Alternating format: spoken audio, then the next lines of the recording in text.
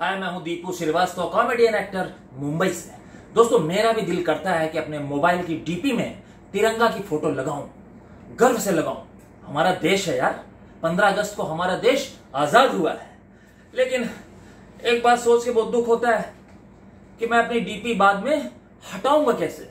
मेरी इतनी औकात नहीं है कि मैं अपने तिरंगे की डीपी हटा सकूँ। एक, मैं भी एक सच्चा देशभक्त हूँ। आपकी तरह।